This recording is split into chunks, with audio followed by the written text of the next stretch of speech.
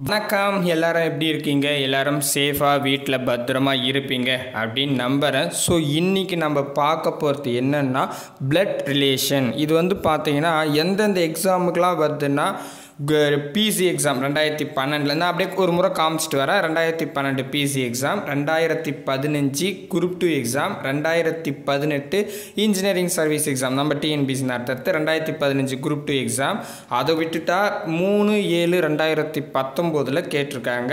இதுவும் ரெண்டாயிரத்தி பத்தொம்போது டிஎன்பிசி எக்ஸாமில் கேட்டிருக்காங்க. அப்படியே அந்த வரிசையில் வந்தால் ரெண்டாயிரத்தி பதினஞ்சு எஸ்ஐ எக்ஸாம்லேயும் ரெண்டாயிரத்தி பத்து எக்ஸ்ஐ எக்ஸாம்லேயும் ரெண்டாயிரத்தி பதினேழு குரூப் என் exam oh my god group ஒன்றில் கூட கேட்டிருக்காங்க. அடுத்தது ரெண்டாயிரத்தி பதினெட்டு பிசி எக்ஸாம் ரெண்டாயிரத்தி பதினேழு பிசி எக்ஸாம் ஸோ காலங்காலமாக ரெண்டாயிரத்தி பத்தொம்போது பிசி எக்ஸாம் பிசி எக்ஸாமில் கன்ஃபார்மாக இந்த கொஷின் இருக்குது. அது மட்டும் இல்லாமல் குரூப் ஒன்லையும் கேட்டிருக்காங்க. ரெண்டாயிரத்தி பத்தொம்போதுலேயும் கேட்டிருக்காங்க. குரூப் டூலையும் கேட்டிருக்காங்க. So all in one question தான் இது கரெக்டாக ஏன்னா எல்லா எக்ஸாம்லேயும் கேட்குறாங்க ஸோ ஆனால் பிசியை பொறுத்தவரைக்கும் கன்ஃபார்மாக இந்த மாதிரி ஒரு மாடல் கொஷின் கேட்டுட்ருக்காங்க நம்ம டிஎன்பிசியை பொறுத்த வரைக்கும் இன்ஜினியரிங் சர்வீஸ் எக்ஸாமாக இருந்தாலும் குரூப் டூ எக்ஸாமாக இருந்தாலும் சேம் பேட்டர்ன் தான். அதனால் வந்து பார்த்தா குரூப் டூவில் கூட கேட்டுக்கிறதால ர- இது கண்டிப்பாக நீங்கள் வந்து கவனிக்க வேண்டிய விஷயமாக தான் இருக்கும். ஏன்னா மாடல் கொஷின் பேப்பரில் ரீசனிங் வந்து குரூப் டூ பொறுத்த வரைக்கும் அஞ்சு கொஷினாவது கேட்பாங்க. அந்த அஞ்சு கொஷனில் இது வரத்துக்கு வாய்ப்பு இருக்கிறதால நீங்கள் ஃபுல் வீடியோ பாருங்கள் டிஎன்பிசி படிக்கிறவங்களோ பிசி எக்ஸாம் சொல்லவே வேணாம். இதில் கன்ஃபார்மாக ஒரு கொஷின் நீங்கள் இதை படி பார்த்தே ஆகணும். கொஞ்சம் கூட ஸ்கிப் பண்ணாமல் சரிங்களா? ஸோ இந்த சேனலுக்கு புதுசாக இருக்கிறவங்க சப்ஸ்கிரைபிள் பண்ணிங்க. கூடவே பக்கத்தில் இருக்கிற பெல் ஐக்கனை ப்ரெஸ் பண்ணி ஆல் நோட்டிஃபிகேஷன் செலக்ட் பண்ணிங்கன்னா நம்ம போகிற வீடியோ உடனுக்குடன் உங்களுக்கு நோட்டிஃபிகேஷனாக வரும். இந்த வீடியோ பிடிச்சிருந்தா லைக் பண்ணுங்கள் உங்கள் ஃப்ரெண்ட்ஸுக்கு ஷேர் பண்ணுங்கள் பிடிக்கலாம் ஒன்றும் பிரச்சனை இல்லை. தாராளமாக டிஸ்லைக் பண்ணலாம். சரி ஓகே வாங்க பார்க்கலாம். இதில் வந்து பிளட் ரிலேஷன் உறவு முறைகள் அப்படின்ற டாபிக் இது வந்து பார்த்திங்கன்னா ரீசனிங் டாப்பிக்கில் வருது.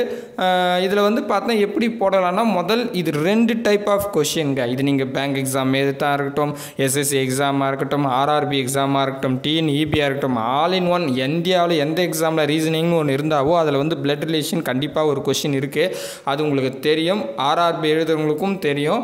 இதில் வந்து பார்த்தீங்கன்னா இருக்கிறதே ரெண்டே ரெண்டு டைப்பு தான். ரெண்டு டைப்பு நீங்கள் புரிஞ்சிட்டிங்கன்னா எப்படிப்பட்ட கொஷின் கேட்டாலும் போட்டுடலாம். ஆனால் ரெண்டுத்துக்குமே நான் ஒரே மெத்தட் தான் சொல்ல போகிறேன் ஸோ இதில் நிறைய மெத்தட் இருக்குது ஃபிஃப்டி ஃபிஃப்டி மெத்தடுன்னு சொல்லுவாங்க ட்ரீ மெத்தடுன்னு சொல்லுவாங்க. பட் நான் அதெல்லாம் பயன்படுத்த பார்த்தில்ல ஸ்டெப் மெத்தேட் அப்படின்றத பயன்படுத்த போகிறேன் ஏன் ஸ்டெப் மெத்தட் சார் அப்படின்னு கேட்டிங்கன்னா ஸ்டெப் மெத்தடை பொறுத்த வரைக்கும் அரேஞ்ச்மெண்ட் டாப்பிக்லையும் யூஸ் ஆகும். பிளட் ரிலேஷன் அதாவது ரீசனிங்கில் அரேஞ்ச்மெண்ட் டாபிக் இருக்கு இல்லையா? தரவரிசை அப்படின்றது நம்ம ஒரு வீடியோ பார்த்துருந்தோம் ஆல்ரெடி அதுக்கும் யூஸ் ஆகும். அதனால் வந்து பார்த்தீங்கன்னா ரெண்டு ரெண்டு டாப்பிக்கு கவர் ஆகக்கூடிய ஒரே மெத்தட் ஸ்டெப் மெத்தட் அதனால தான் நான் ஸ்டெப் மெத்தட் சொல்ல போகிறேன் ரொம்ப ரொம்ப எளிமையானது தான் ஸோ பார்க்கலாம். வாங்க. So first of all question பார்க்கறதுக்கு முன்னாடி நான் ஸ்டெப் மெத்தட்னா என்ன அப்படின்றது இதில் சொல்லிடணும். ஸோ இதில் வந்து ரெண்டு டைப் இருக்குது ரெண்டு டைப்பில் நான் இப்போ ஒரு டைப் மட்டும்தான் ஒரு நாலே நாலு கொஷின் தான் எடுக்க போகிறேன் ஏன்னா வந்து கொஞ்சம் ஷார்ட்டாக சொல்லிவிட்டு உங்களுக்கு மைண்டில் ஃபிக்ஸ் ஆகிடும் நீங்கள் அதை எழுதி வச்சிட்டிங்கன்னா இன்றைக்கே அல்லது நாளைக்கும் நான் இன்னொரு வீடியோவும் கண்டிப்பாக பார்ட்டும் போட்டுரும். ரொம்ப நாளாக ஒதுக்க மாட்டேன். ஸோ நீங்கள் பார்க்கணும். ஓகே எனக்கு ஓகே சார் அண்டர்ஸ்டாண்ட் ஆகும் சார் ஒன்றும் பிரச்சனை இல்லை சார் அப்படின்ற மாதிரி ஆகிட்டிங்கன்னா செகண்ட் ஸ்டெ டைப்புக்கு போகலாம் சரிங்களா? சரி. ஸோ ஸ்டெ இந்த ஸ்டெப் மெத்தட் பொறுத்த வரைக்கும் என்ன சார் பண்ணணும் அப்படின்னு கேட்டிங்கன்னா நம்ம ஸ்டெப்ஸை க்ரியேட் பண்ணணும். ஸோ ஸ்டெப்ஸை க்ரியேட் பண்ணுறதுக்கு முன்னாடி நீங்கள் என்ன வார்த்தைகள் தெரிஞ்சுக்கணும் அப்படின்னு பார்த்தீங்கன்னா இன்னு இக்கு அப்படின்ற வேர்டு. இந்த இன்னு இக்கு நிறைய வாடி நான் சொல்லிகிட்டு இருக்கேன். பர்சன்டேஜில் கூட நான் சொல்லிட்டு தான் இருக்கேன். கரெக்டாக ஸோ ஒன்றும் இல்லைங்க. இங்கே பாருங்களேன். இன்னு அப்படின்ற வேர்டு. இல்லைன்னா இப்படி கூட இன்னுன்னு வரும். சரிங்களா? அதுக்கப்புறம் எக்கு அப்படின்னு வந்துடும் சரிங்களா? இதெல்லாம் இந்த வேடு இந்த எழுத்துக்கள்லாம் யார் பக்கத்தில் இருக்காங்களோ அவங்க இன்னொருத்தரை கூப்பிட போகிறாங்க சார். இப்போ நீங்களாம் நினச்சிங்களா ஃபார் எக்ஸாம்பிள் இன்னு இக்கு இல்லு அப்படின்ற ஏதாச்சும் ஒன்று தான் இருக்கும். அந்த அந்த எழுத்து அந்த நபர் நீங்கள் நீங்கள் இன்னொருத்தரை எப்படி கூப்பிட போகிறீங்க அப்படின்றத கொஷினில் படித்தா புரியும். நான் இப்போ சொல்கிறத ஜஸ்ட் காதில் வாங்கிக்கங்க. நான் அப்புறம் கொஷின் சொல்லும் போது ரொம்ப எளிமையாக இருக்கும். அட கட கட கடன்னு போட்டுடலாங்க. ரொம்ப ஈஸி வித்தவுட் ஃபார்முலாலாம் எதுவும் கிடையாது இதுக்கு. இன்னு இக்கு இல்லு இந்த எழுத்துலாம் எங்கே இருக்கோ அவங்க நீங்கள் சார் கொஷினில் சொல்லுவாங்க. இவருக்கு என்ன உறவு அப்படின்னு கேட்பாங்க. அப்போது நீங்கள் தான் இந்த இன்னு இக்கு இல்லைன்றத நீங்கள் ஏற்றுக்கணும் நீங்கள் அவரை எப்படி கூப்பிட போகிறீங்க அப்படின்றது தான் கான்செப்ட் இது புரிஞ்சாவே பாதி முடிஞ்சிடுச்சு. ஸ்டெப் மெத்தேடில் ஓகே புரியுதா? இன்னு இக்கு இல்லைன்றது நீங்கள் அவ்வளோதான் இது ஃபஸ்ட்டு ஸ்டெப் நெக்ஸ்ட் என்ன பண்ண போகிறேன்னா ஸ்டெப்ஸை க்ரியேட் பண்ண போகிறேன் இது என்ன சார் ஸ்டெப்புன்னா ஜஸ்ட்டு கோடு தாங்க. இது ஒரு ஸ்டெப்ஸாக வச்சுக்க போகிறேன் ஒவ்வொரு அடுக்குகளாக இன்க்ரீஸ் ஆகுது இல்லையா? அதனால் ஸ்டெப்ஸுன்னு நான் வச்சுக்கிட்டேன் இந்த மெத்தேட் ஓகேவா இதில் எப்படி சார்னா இப்போது ஏன்றவங்க நீங்கன்னு வச்சுக்குவோமே. ஏன்றவர் நீங்கன்னா உங்களுக்கு அப்பா அம்மா அப்புறம் வந்து தங்கச்சி அதுக்கப்புறம் அக்கா அதுக்கப்புறம் அண்ணா தம்பி அதுக்கப்புறம் மா மாமா மச்சான்னு ஏகப்பட்ட உறவுகள் இருக்கும். இருக்குதா? எஸ் இதில் உங்கள் தலைமுறை உறவுகள் யார்? என் தலைமுறை உறவுகள் யாராக இருக்கும் அப்படின்னு கேட்டிங்கன்னா அண்ணன் தம்பி இருக்கும். அக்கா தங்கச்சிங்கள் இருப்பாங்க. அதுக்கப்புறம் அண்ணன் பசங்களும் அதாவது எப்படி சொல்கிறது பெரியப்பா பசங்களும் சித்தப்பா பசங்களும் நம்ம அப்படி தான் சொல்லுவோம். அதே மாதிரி மாமா பசங்களும் நம்ம ம- என்னன்னு சொல்லுவோம் மச்சான்னு சொல்லுவோம் கரெக்டாக ஸோ அவங்க கூட நம்ம தலைமுறை தான் அவங்களெல்லாம் இங்கே உட்கார வைக்கணும். புரியுதுங்களா நான் சொல்கிறது உங்கள் தலைமுறை உறவுகள் இப்போ நான் சொன்னேன் பாருங்கள் அண்ணன் தம்பிங்க அக்கா தங்கச்சிங்க மாமா பசங்க அதுக்கப்புறம் சித்தப்பா பசங்களும் அண்ணன் தம்பிகள் தான் வந்துடுவாங்க இவங்க மட்டும் தான் டிஃப்ரெண்ட்டாக இருக்கும். மாமா பசங்களை நீங்கள் எப்படி கூப்பிடுங்க மச்சா மாமான்னு கூப்பிடுவோம் இல்லையா? அவங்க மாமாவோட பசங்கன்னு சொன்னால் அவங்க தான் சரியா? இ- இவங்களாம் வந்து எங்கே உட்கார வைக்கிறோன்னா உங்கள் பக்கத்துலேயே உட்கார வச்சுக்கணும். ஓகேவா ஏன்னா இது உங்கள் தலைமுறை உறவுகள். ஓகேவா அண்டர்ஸ்டாண்ட் ஆகுதா? எஸ் அடுத்தது நான் என்ன பண்ண போகிறேன்னா ஸ்டெப் டூ உங்களுக்கு மேலே.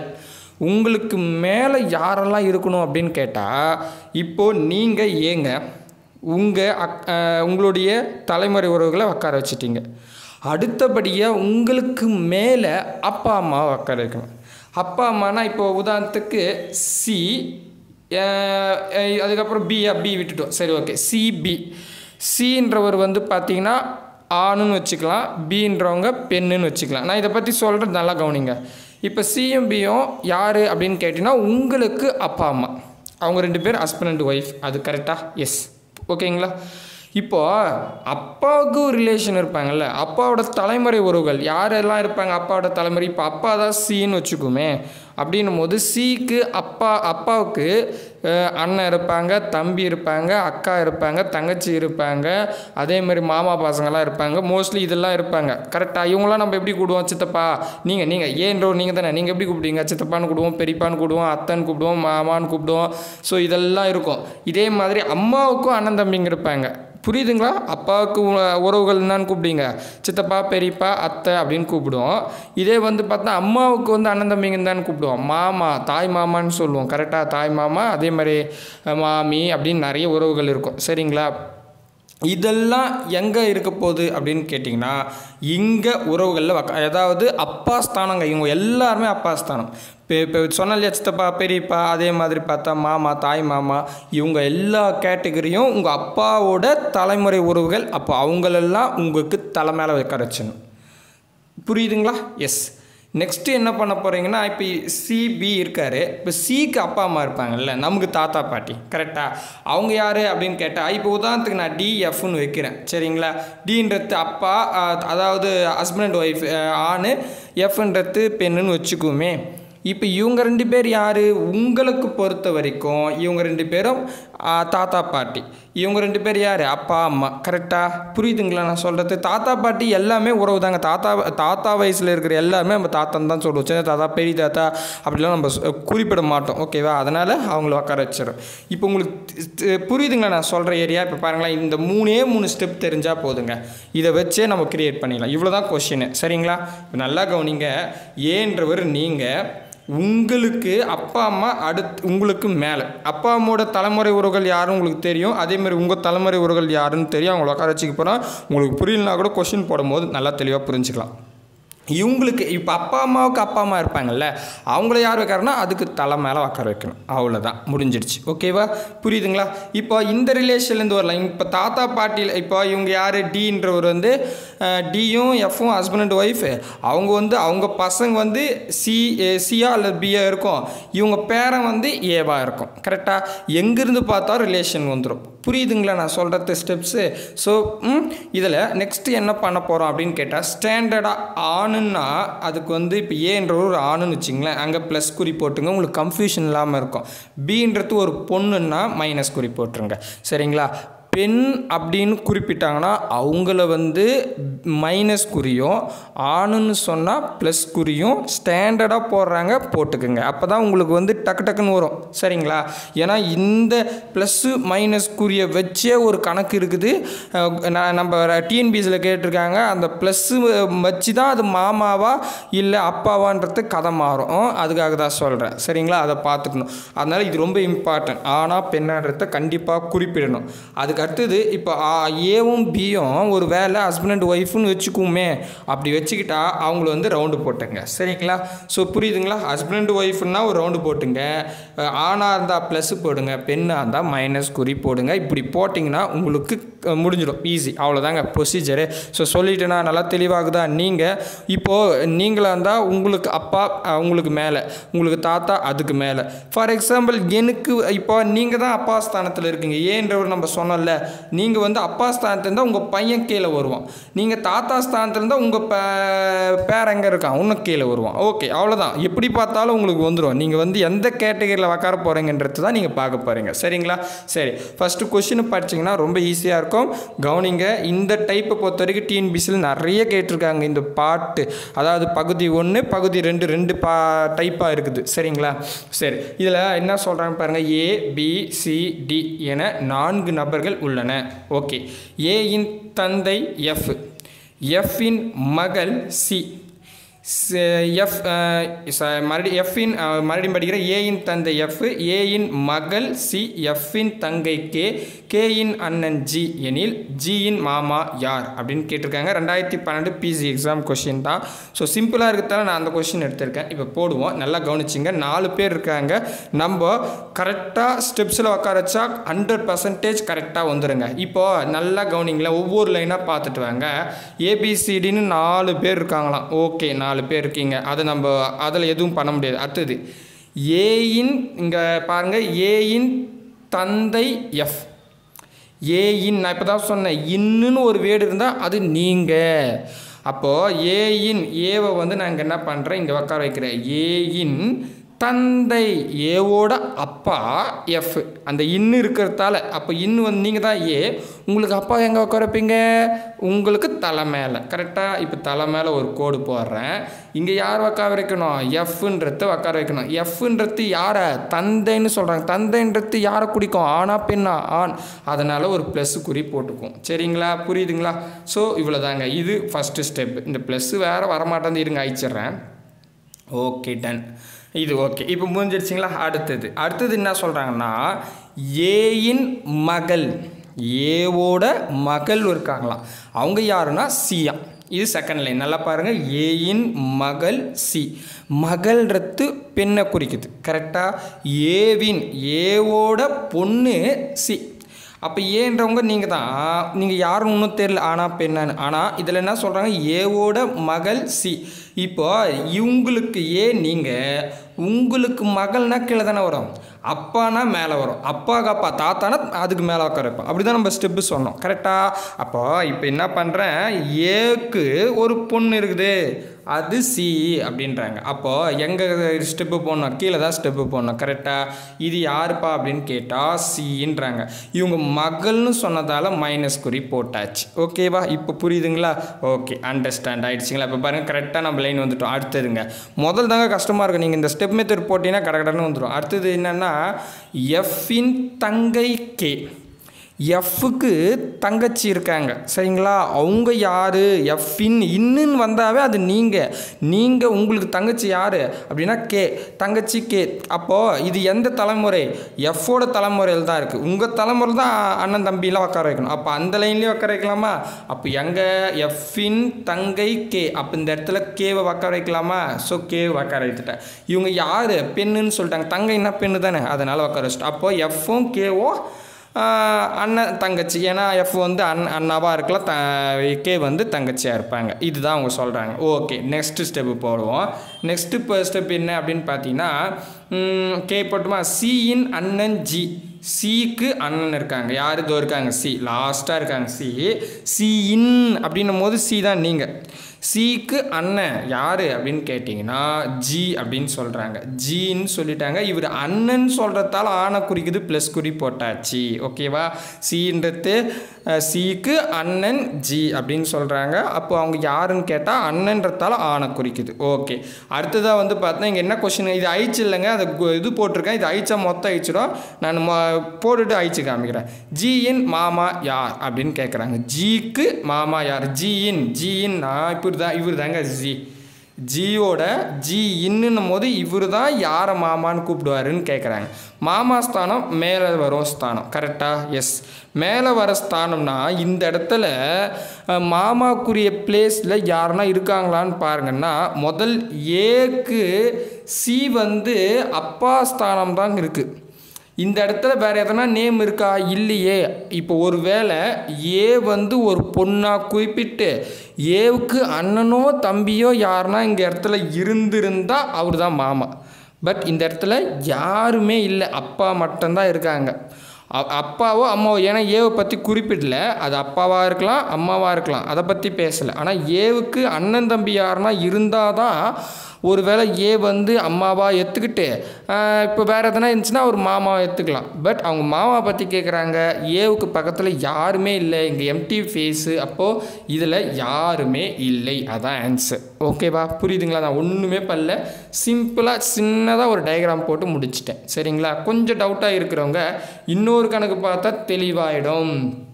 இது வந்து பார்த்தீங்கன்னா ரெண்டாயிரத்தி பதினஞ்சு குரூப் டூவில் கேட்டிருக்காங்க. இருபத்தஞ்சு அஞ்சு ரெண்டாயிரத்தி பதினெட்டில் இன்ஜினியரிங் சர்வீஸ் எக்ஸாம்லேயும் கேட்டிருக்காங்க. டிஎன்பிசி எக்ஸாம் தான் இது ரெண்டுமே. சரி முதல்ல நம்ம கொஷின் ஒரு முறை படிச்சுட்டு ஸ்டெப்ஸை கிரியேட் பண்ணலாம். ஏ என்பவர் பியின் சகோதரன். சி என்பவர் பியின் தந்தை. டி என்பவர் சியின் தந்தை என்றால் ஏ என்பவர் டியின் அப்படின்ட்டு விட்டாங்க. அதோட முடிச்சிட்டாங்க. அப்படின்னா அந்த டி இன்னும் போது டி தான் ஏவை எப்படி கூப்பிட போகிறான்னு கேட்குறாங்க ஓகேவா அதை தான் நான் மாற்றிக்கணும் ஏ ஏ அதாவது நீங்கள் ரிலேஷனை மாற்றிட்டீங்கன்னா தப்பாயிடும். இன்னுன்னு இருந்தால் தான் அவரு தான் இன்னொருத்தரை கூப்பிட போகிறாரு அவ்வளோதான் ஓகேவா அப்போ நம்ம க- பார்க்கலாமா? சரி. முதல்ல நான் ஒரு ஸ்டெப்ஸு க்ரியேட் பண்ணிக்கிறேன். அது எப்படி வருதுன்னு பார்ப்போமே. அப்படின்னா ஏ என்பவர் பியின் சகோதரன். ஏ யாருன்னா பியின் இப்போ நான் ஏவும் பியும் சகோதரன்கள் அதாவது சகோதரர்கள் தெரிஞ்சு போச்சுன்னா இங்கே ஏ இங்கே பிஇன்னு போட்டுட்டேன். இதுலேயே அவன் என்ன சொல்கிறான்னா பிஇன் பிக்கு சகோதரன் ஏ அப்படின்னு சொல்ல வராங்க. சரிங்களா?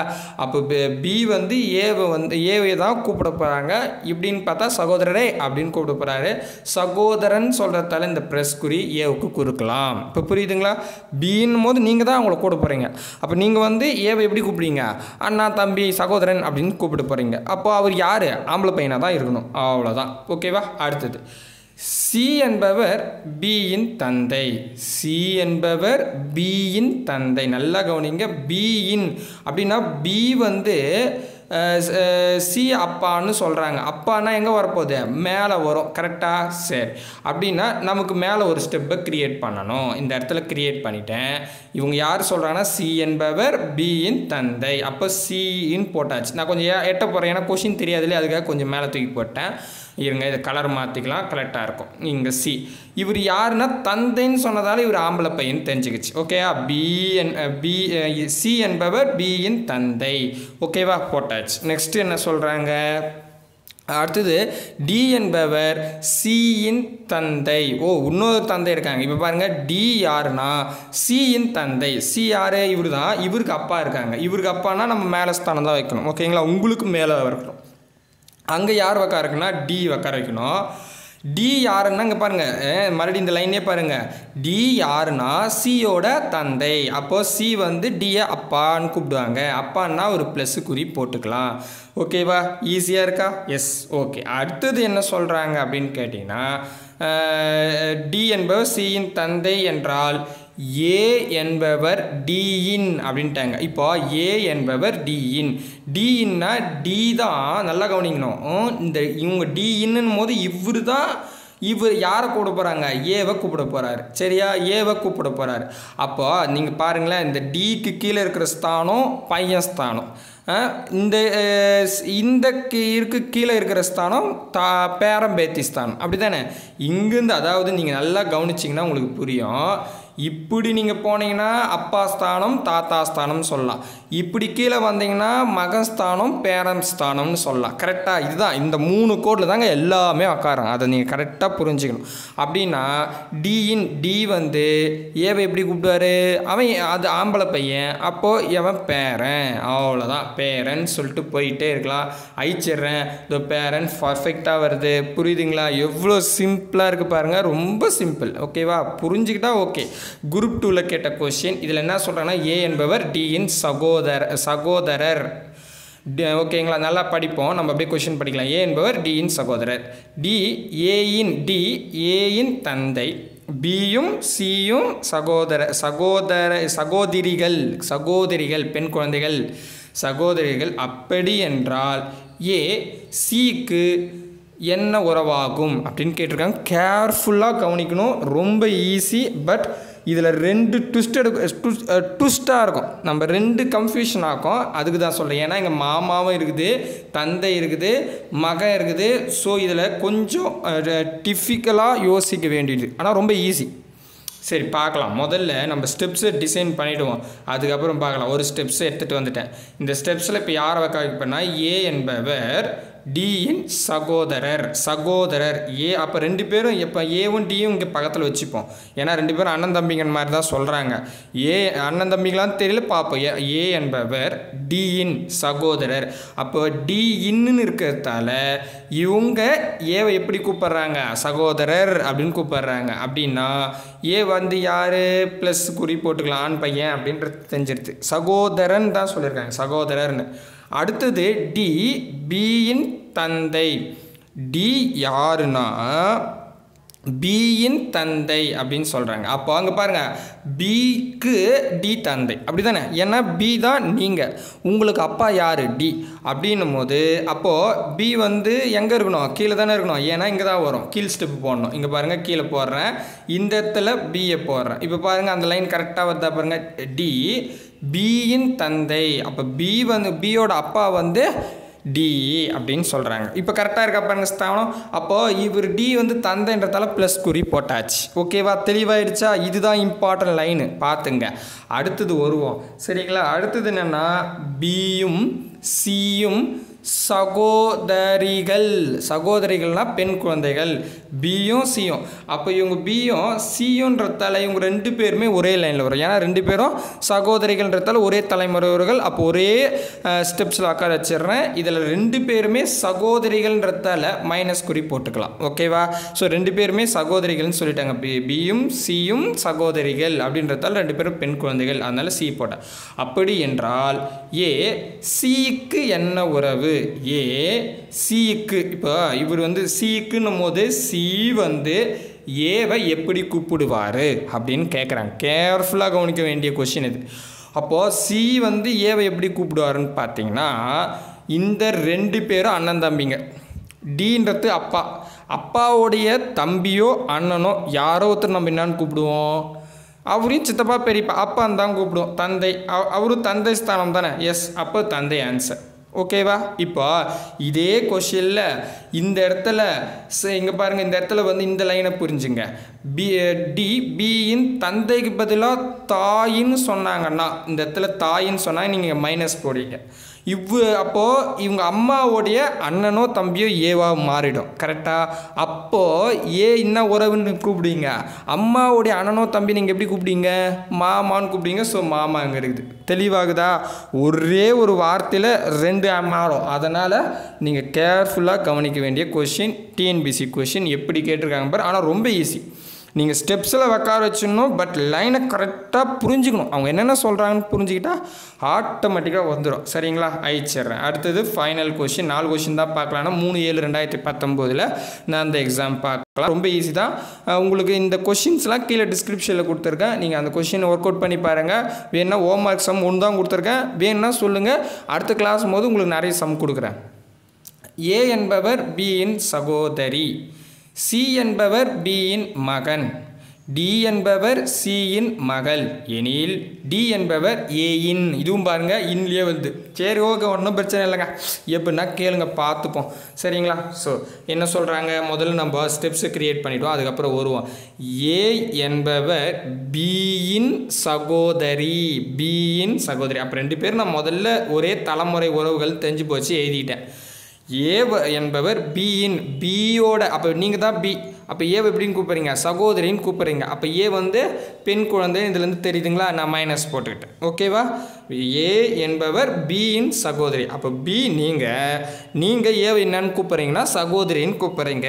அப்போது அவங்க சகோதரின்றதால் பெண்ணை குறிக்குது. அதனால் மைனஸ் குறி போட்டுக்கிட்டோம். ஓகேங்களா அடுத்தது செகண்டு அந்த லைனே பாருங்கள் சி என்பவர் பியின் மகன். மகன் கொடுத்துருக்காங்க. சி யாருன்னா? பியின் மகன். இப்போது பியின் மகன் போது பி நீங்கள் சரியா? அப்போ பி நீங்கன்னா உங்கள் பையன் யாருன்னா சியா. அப்போ கீழே தானே ஸ்டெப் வரும் கரெக்டாக உங்கள் பையன் சின்றாங்க. ஓகேங்களா? அவன் பையன்னு சொல்கிறதால இங்கே மைனஸ் குறி அது ப்ளஸ் குறி போட்டுக்கிறேன். பையன் இல்லையா? ஆண் பையன். அதனால் ப்ளஸ் குறி போட்டாச்சு. இப்போ பாருங்கள் லைன் கரெக்டாக புரியுதுங்களா? நீங்கள் இன்னுன்னு வந்தால் அது நீங்கங்க. நீங்கள் வந்து அவரை கூப்பிட்றீங்க. அவன் என் பையன். அவன் பையன் வந்தால் கீழே. அப்பா வந்தால் மேலே. தாத்தா வந்தால் மேலே மேலே. அவ்வளோதான் முடிஞ்சு போச்சு. இதுதான் உங்கள் ஒர்க்கே சரிங்களா? சரி. அடுத்தது பார்க்கலாம். டி என்பவர் சியின் மகள். டிஆர்னா சியின் மகள். அப்போது சி தான் நீங்கள் உங்களுக்கு ஒரு பொன் குழந்தை இருக்குது. அது யாருன்னா டி. அப்படி தானே சொல்கிறாங்க அப்போ இன்னொரு கீழே ஒரு ஸ்டெப் வருதுப்பா. ஓகேவா ஓகே இது யார்?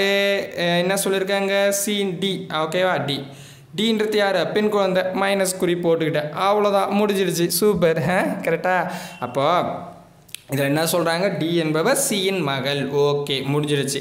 இப்போ உக்கார வச்சது புரியுதுங்களா? ஸ்டெப்பு கரெக்டாக சொல்கிற மாதிரி உக்கார வச்சுன்னா ஹண்ட்ரட் பர்சன்டேஜ் பிழையே இல்லாமல் தெளிவாக ஆன்சர் வரும்.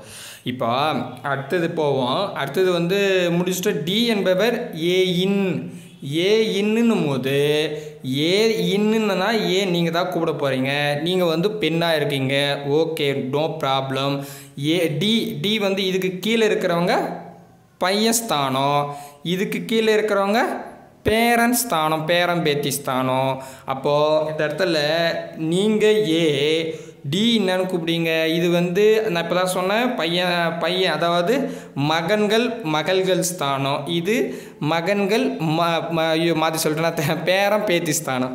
இங்கே யார் இருக்குது? பொன் குழந்தை இருக்குது மைனஸ் பெண் குழந்தை இருந்தால் அதை என்னன்னு கூப்பிடுங்க பேத்தின்னு சொல்லுவீங்க கரெக்டாக பேத்தின்னு தானே சொல்லுவோம். அப்போ இதில் எங்கே பேத்தி? இதோ இருக்குது பாருங்கள் பேரனும் இருக்குது நல்லா பார்த்துக்கணும். அதுதான் நீங்கள் படிக்கணும். சரிங்களா? ஸோ பேத்தி தான் ஆன்சர் ஏ அவ்வளோதாங்க முடிஞ்சிடுச்சு எப்படி இருக்குது பிளட் ரிலேஷன் ஃபஸ்ட்டு டைப்பு இவ்வளோதாங்க இது புரிஞ்சால் மட்டும்தான் செகண்ட் டைப் புரியும். அதுக்கு தான் நான் என்ன பண்ணிட்டேன்? இப்போ எட்டு கொஷின் எடுக்கிறதுக்கு எனக்கு ஒரு பிரச்சனை இல்லை. ஸோ இன்னும் ஒரு நாலு கொஷின் எடுத்துட்டா முடிஞ்சிருச்சு. பட் நான் என்ன பண்ணுறேன்னா இந்த வீடியோ போட்டுட்டு வெயிட் பண்ணுறேன் உங்களுக்கு புரியுதான்னு பாருங்கள் எழுதி வச்சுக்கோங்க. நான் இன்னொரு வீடியோவை இன்னை அல்லது நாளைக்கு போடுறேன். சரிங்களா?